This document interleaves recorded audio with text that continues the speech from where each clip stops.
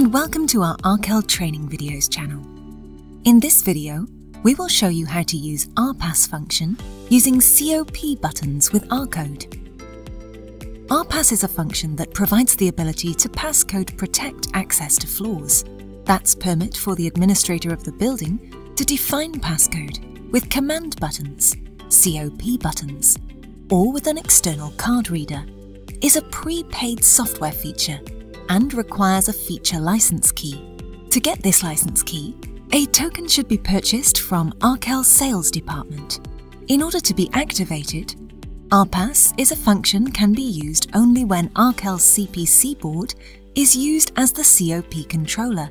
Currently the function is not available with other third-party Arcode compatible COP boards. To get the token, you can contact Arkel sales department via email sales at arkel.com.tr. After you get the token from our sales department, access with RM to System Information screen and take a picture for the ID number. Then from your navigator, access to our website www.arkel.eu.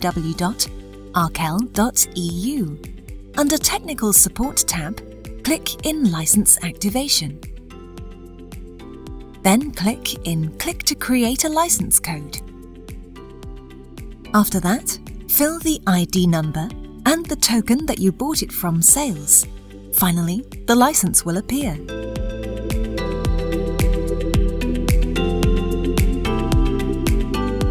On RM, press Tool and Access to Device Parameters. Then, enter ARPASS license key that you obtained from our website in the parameter ARPASS feature license code.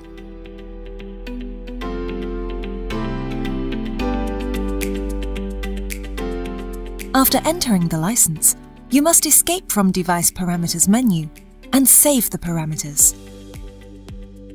Then access again to Device and Parameters menu. Reach ARPASS settings under the parameter Special Elevator function. Enable ARPASS function and set the parameter working type with COP. Then set the number of digits of floor passcodes parameter and it should between 4 and 8.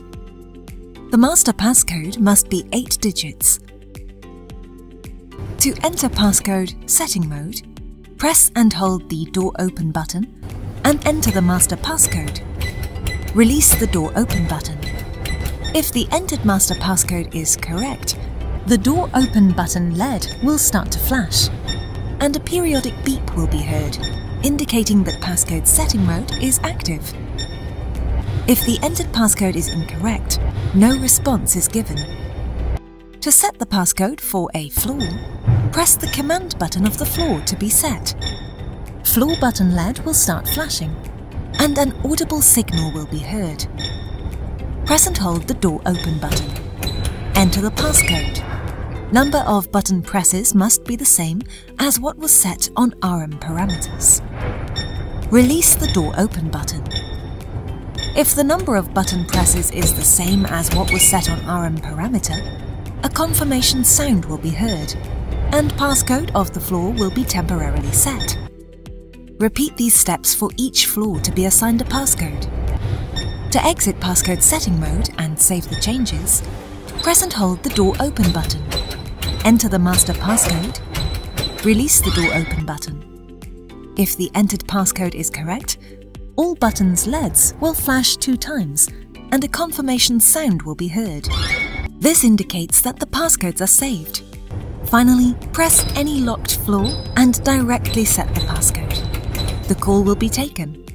If the passcode is wrong, an error will be heard.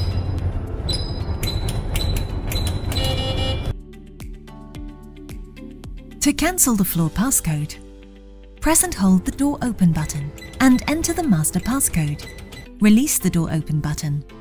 The door open button LED will start to flash with periodic beep. Press the command button of the floor.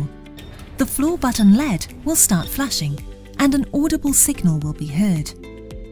And press and hold the door open button for 5 to 10 seconds, then release. An audible signal will be heard and the floor button of the floor will stop flashing.